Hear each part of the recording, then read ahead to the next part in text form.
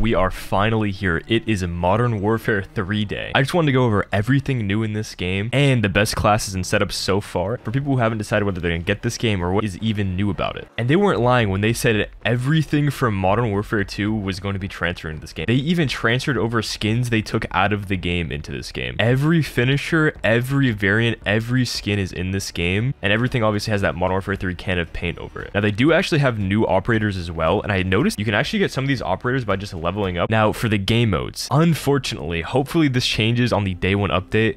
There is no gunfight in this game. The only party game they have right now is gun game. Hopefully that changes. I know I saw something about a training course being added to the game, which might help people practice their movement and gun skill. This game seems pretty lackluster when it comes to game mode. We just have like the normal TDM, domination, S&D, hardpoint, just the usual. I know hardcore is going to be supported. I don't know if it's going to be day one, but one of the newest game modes they have is war. War is a game mode we haven't seen in Call of Duty for like a million years. But I just also realized they have like the same openings they did back in 2019. And I think Modern Warfare 2 has them as well. And speaking of 2019, I don't know if you guys can notice it, but this is Khandor Hideout on Modern Warfare 3. But again, this isn't a multiplayer map, this is the war mode. So basically, you just go half and half on one side. Oh my god, wait, the movement. Did that helicopter just go down? The movement still doesn't feel perfect or on par with 2019, but the movement in this game still feels great. Wait, can you build? Oh my god, you can build like... Oh my... That looks like Legos. Oh my god. But basically, you're just supposed to defend or attack an objective because you switch sides. If you've ever played like a tug of war type of game mode before, it's basically that where you have uh, a team defending, a team attacking, and you guys switch sides and see who does it better. Game modes like this usually have such a crazy potential for you to just drop like 100 kills super easily. And oh my god, this gun has no attachments on it, by the way. With this game giving you so much health and this Uzi killing so fast, there's like no way this isn't like the 2019 Uzi. Like, look at that. Like, I have no attachments and my aim is pretty awful. I can't lie. Test out this pistol real quick. Oh. Okay, at least I got a hit marker there, but oh my god. There's no way that doesn't get nerfed. There's just no way that they give that pistol to everyone in the game. Oh my god. Also, you know what I just realized? When you get a kill, it shows like the name in the bottom, uh, the bottom middle of your screen, just like 2019. So if you're like on a nuke streak, you'll actually be able to tell. And when people call in streaks and stuff like that, it all shows, shows in the top right. Oh my god. Wait, this feels so much better. Look at that. Reload cancel. Reload cancel. I mean, dude, that just feels so much better. That feels so much better. This map has three parts to it, so if you were to lose this, they would go up a part of the map again. And right now we're on Khandor Hideout. After this, it would go to Crossfire from COD 4.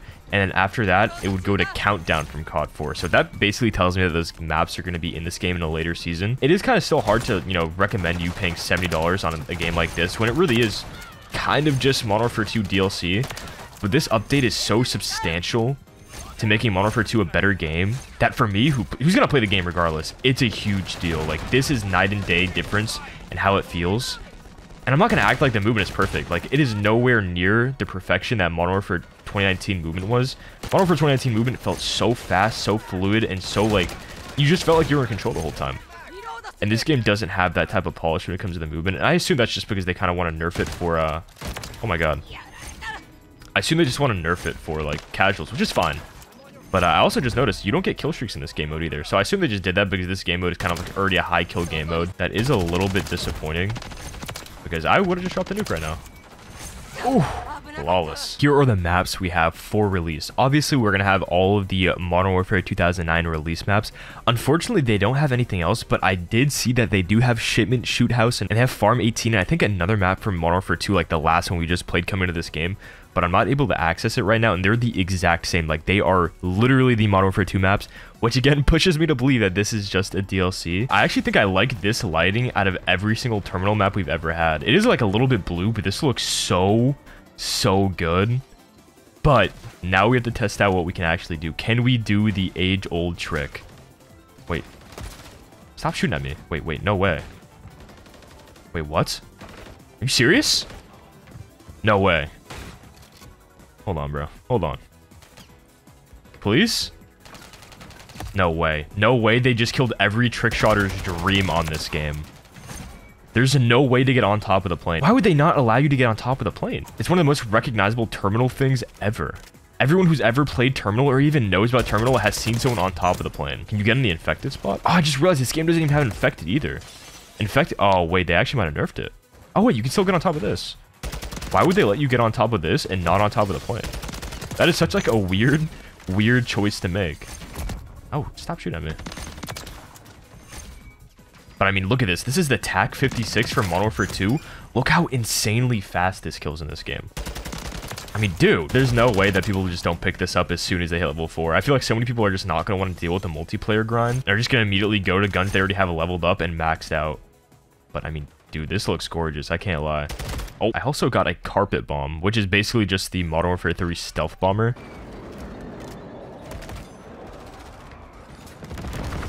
Oh my god. I'm sure a lot of you have been screaming right now asking, can you hit a B-hop? Can you hit a B-hop? And unfortunately, you can't hit like a normal B-hop.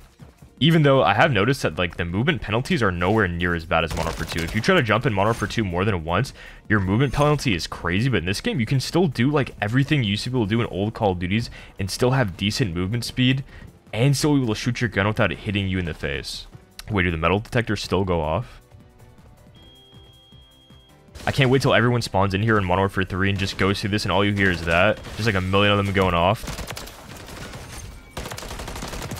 I mean, damn! Wait, the ACR actually might kill faster. I, You know what? I think I, it's so hard to tell how much better or worse Modern Warfare 3 weapons will be compared to Modern Warfare 2, but I just think having the option to use both while also playing on both maps is so great. I feel like we haven't had a full year full of content and things to do in a Call of Duty in so, so long and this game having so much on release, even though it is a lot of reused content, just having that and having something to do, it's going to feel so fresh and nice. And I hope this year for Call of Duty, the community just gets bigger and bigger instead of getting smaller the way it has over the past few years. It's been pretty rough, to be honest. So I'm actually pretty excited. Oh, wait, we're actually 25 off this nuke. I know they're they're just bots, but I wonder if the nuke sound is gonna... I wonder if they changed the nuke sound from the beta, because I know in the beta, it sounded just like Modern Warfare 2, which was pretty disappointing. It was basically just the Modern Warfare 2 nuke, uh, and not the Modern Warfare 2009 nuke. I also noticed there's no EMP as a score streak in this game, which is really, really weird, since I'm pretty sure they showed it off in the trailer. Honestly, I just hope they add it as an update the same way they did in Cold War with kill streaks. I think the score streaks we have in this game already are, are pretty lackluster and boring, considering we just used them for like the last year. What was that sound? Whoa. It actually goes off. Does this work? Oh, actually works. Curious about the gunship. Does it have the same exact animation as Modern Warfare 2? Oh, I think it does. Oh, it has the exact animation as Modern Warfare 2. I'm not sure I'm super happy with that. Whoa, wait, is this faster? I think it's faster. The AC-130 is faster in this game. Yeah, for sure. I'm glad they made it faster at least, They're at least buffing the streaks and making them more fun to use. No matter what gun you're using, no matter what attachment you're using, it actually feels so much faster. Alright, let's see what the jug looks like. Hopefully it's different. Oh, wait, what? I, I think my hand's supposed to be there. I don't have a left hand. I can see it in the shadow. Where's my hand at? It's supposed to be on top of the rail. Wait, can't you like jump on top of people? Watch this. Dude, they made it where you can't get out of the map or even like behind these. Damn. Wait, what if I go here? No. Wait, right here? Surely. No. Let's call him the nuke. Let's see if it's any different. Oh. No, it's still the same sound. Damn. Damn, man, they made the same sound. Why would they make it the same sound? You think they're gonna try to like make it its own bundle? Oh. That was weird. It killed me like twice. The same end screen and everything. Wow. The weapons, they don't have like a lot of new weapons, especially from the beta. It seems like almost everything we had from the beta was basically what we're going to have in the full game. There's like one or two SMGs we didn't have. We have like a striker with a 9mm magazine and the Uzi, which I got a chance to use and is absolutely insane. It reminded me so much of the 2019 Uzi, but other than that, they didn't really have anything too interesting or new. The only AR that I was able to find that was new was a Holger a DG58 and the FAMAS, and it's the burst FAMAS like we had back in the original Modern Warfare 2, which is pretty cool. But other than that, mainly the weapons that might be new to you is Modern Warfare 2. If you didn't play it that much, but all of your skins, all of your attachments, literally everything in this game transfers over. And on top of that, I believe they also added Modern Warfare 3 attachments to Modern Warfare 2 weapons. I can't tell, to be honest. There's so many attachments in Call of Duty anymore. I can't tell what's Modern Warfare 3 or Modern Warfare 2, but I'm pretty sure these are Modern Warfare 3 because you can see in the top left under weapon level, it says Modern Warfare 3 under it, and these say Modern Warfare 2. And for camos, they have everything they had in Modern Warfare 2 for Modern Warfare 2 weapons. It looks like you can't apply the Modern Warfare 3 Mastery camo on Modern Warfare 2 weapons from multiplayer, but they actually did add one for zombies, and this one looks absolutely insane. This is like a spider web camo. It's unfortunate the only way you can get it is if you grind out zombies, which isn't free to everyone. And now there's a insane amount of camos. You can see on all unlocked camos is up to 886 camos there is rows on rows on rows of camos and everything you got in Modern Warfare 2, even like event camos do transfer over as well, which kind of does push me to believe this game was literally just DLC for Modern Warfare 3. And one of the biggest reasons for that is the kill streaks. I remember in the beta, I tweeted out, hey, there's not like a lot of interesting or satisfying kill streaks in this game. I hope you get some like Black Ops 3 era Black Ops type of streaks where they're like super good, super satisfying and fun.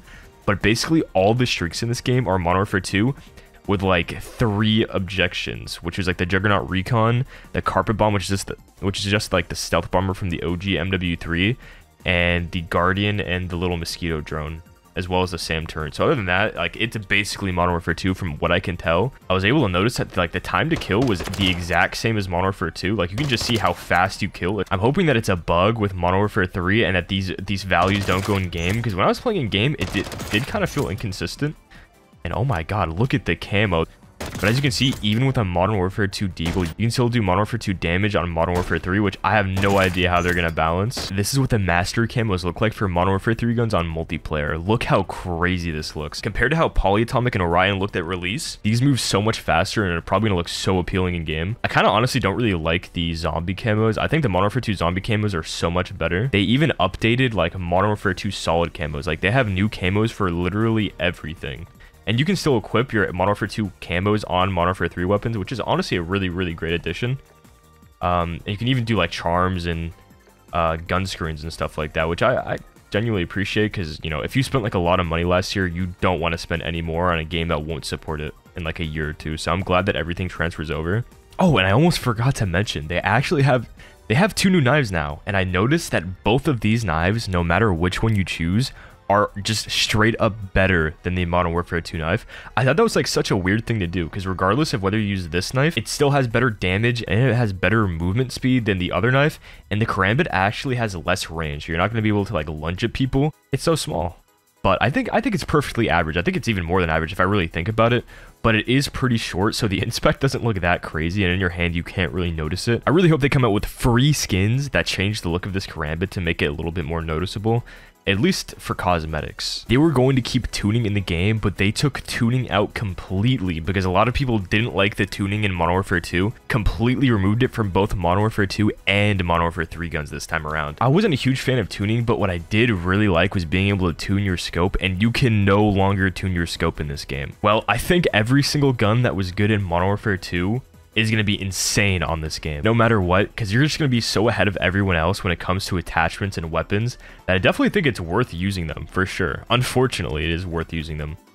So if you want to have the best setup, it's definitely that, and you can find all of my settings and setups on my website, and they'll be updated as soon as possible for every game, including Modern Warfare 3's, but I'll just go over and tell you what I think is going to be the absolute best in this game day one, and again, they'll always be updated on my website at futives.com. I think personally, I'll be using the quick grip gloves just because it lets you switch weapons faster. If you're using a sniper, I'd probably use marksman, but again, even if I was using a sniper, I'd still want to switch to my pistol faster. So this year, I'll probably be using quick grip. For my boots, it's either going to be lightweight or covert sneakers. I think lightweight boots are going to make such a big difference when it comes to hitting rush routes and search and destroy. Because this year, they've also given you dead silence as a field upgrade this year. So if you're that confident, you don't have to use covert sneakers every time. And for the gear, it'll probably have to be EOD, tac mask, bone conduction for the most part. I honestly don't even think I'll use bone conduction. I'll probably use EOD or tac mask depending on the team you're playing and what's kind of annoying you the most. Everything else is kind of preference, but those are going to be what I'm going to use just because every year it's kind of been the same.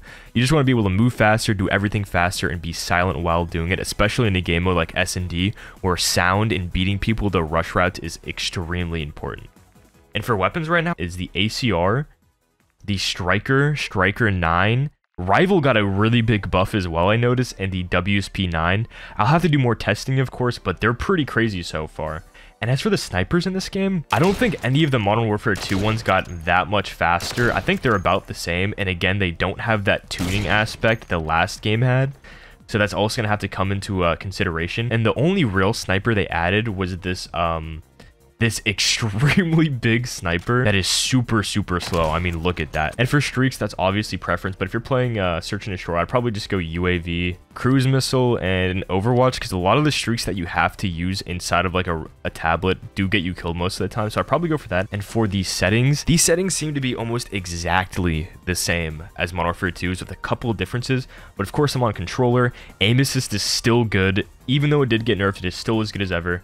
I play default trigger effects off, and you want your dead zones as low as you can possibly do without getting a bunch of stick drift. I have my left stick max pretty uh, pretty low, just so you can move as much as possible when you're ADSing, because I think that gives you a little bit more aim assist. For trigger dead zones, you also want these as low as possible, but I have like mouse triggers, so that doesn't really matter for me. On console, I played 8-8, but I'll probably go to 9-9 or 10-10 when the game comes out. For the aim response curve type, I use dynamic, and again, sensitivity is completely preferent. What I would do is go shoot bots and see what feels the best for you. But this is my current ADS multiplier. And then for the aim assist, uh, I was trying out Black Ops, but I'd either go for Black Ops or default if you're using a regular gun, or for sniping, I would use precision. But if you're going to go back to a regular gun, just use default or Black Ops. I don't snipe enough to use precision, but if you're mainly a sniper, that's definitely the best option. And I'm not using my controller as a Wii Remote, uh, so we don't have motion sensor on. I like to play with automatic tac sprint, of course.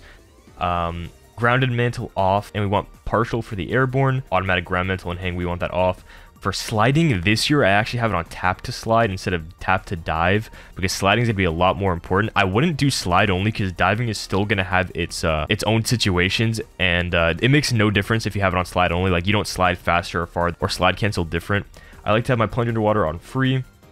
I don't like to pull my parachute unless I want to. Uh, ledge climb, I have it on movement based. Now I have slide cancel sprint on. I haven't been able to test this one too much. I might go to off and test that out some more, but right now I have it on on. And then everything else I basically have default except for this. I have this on instant. Uh, interact reload behavior on prioritize interact. That's especially important for Warzone players. Armor plate behavior apply all, and then everything else I believe is default. And now for the graphics. Right now I'm on PlayStation, so if you're on PlayStation, make sure to turn off texture streaming. It might make your game look a little bit worse, but you're trying to get the most performance as possible. Uh, motion blur off, depth of field off, fidelity cast you want it on and on 100 so your game looks extra sharp, which makes uh, which makes seeing people a little bit easier. It just makes your game look a little bit better overall. For eco mode preset, you want that off. 120 hertz. If you can do that please put on 120 hertz. If you bought a ps5 or a new xbox that's basically the whole point. You want the game to run as good as possible. Your camera not to be shaken around as much. You want to have it on least inverted flashbangs to save your corneas. For audio i use headphones. It feels the best for me. And for master volume if you like music you can have it on but it does go in the middle of an s&d round so you want that off. You want dialogue volume. That's like uh you know people saying the bomb is planted or characters so i like to have it on 30 Effects on 100 because that's footsteps and gunfire. Voice chat is preference. Cinematic mu uh, music volume doesn't really matter. That's just for like cutscenes when a new season comes out. I like to have voice chat on, of course. Um, and then everything else, again, is preference once again, except for reduced tinnitus. You want reduced tinnitus sound on because when you get flashbang or like when an explosion goes off, it'll make that little sound and you don't want that to, to go over footsteps or anything like that that's important to you. And for interface, you want your mini map shape on square, I don't like to play with crosshairs on. I like to have them off. If you like to have them on, put them on static. And then under crosshairs as well, when you turn it off, I still like to have that center dot on so I can know where I should center and where people are on my screen. Hit marker visuals, you want to know what you're shooting at. Um, and then for player names, you want a full name, Server latency and pack loss is up to you if you want to know that information. This game is almost the exact same as Modern Warfare 2. It's just with a little bit of that Modern Warfare 3 pizzazz on it. But if you have any questions, make sure to go to my Twitch. I'll be streaming as soon as you see this video. I'll be playing this game in real time. You can see how the game plays. You can ask me any questions. I'll try to answer everything I can. And you get a better idea of how the game will play in real time. But again, all my settings, all my classes, everything like that, anything you need to know will be on my website, futives.com, and will be updated as soon as I can. But again, let me know what you guys think about the game. Are you going to pick it up? Are you interested? Let me know in the comments section below. And hopefully this is a good year because personally, I'm pretty interested in how multiplayer is going to play out this year. I think Warzone is going to be insane this year. The map looks good. And with the gameplay mechanics, I think that we're going to be in for a great year. But on top of the gameplay mechanics we have now with Rebirth, Verdansk, and Fortune's Keep coming back, I think this year is going to be amazing. Hope you guys enjoyed this video. Let me know what you guys think. My settings are going to be on my website every single day. Everything I use will be there. Thank you guys for the support. I'll see you guys in the next one and in my stream. See ya.